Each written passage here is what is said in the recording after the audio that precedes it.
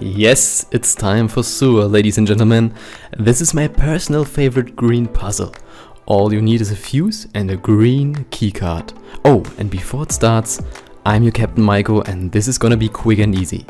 Let's hop over to the building with the recycler.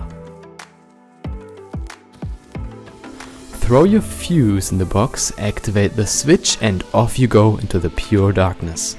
Climb down the ladder and trust me, you can't miss the entrance as there's just one way. Swipe your card and mission accomplished. The cool thing about this puzzle is that there's a ton of loot waiting for you. Even a recycler makes it possible for a wonderful, long vacation underground.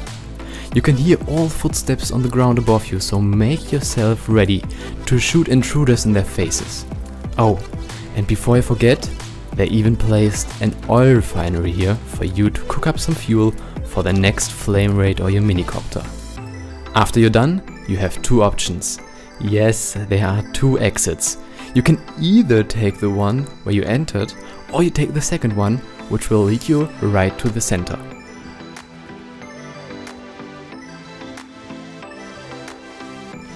I hope you enjoyed. Myko over and out. Peace.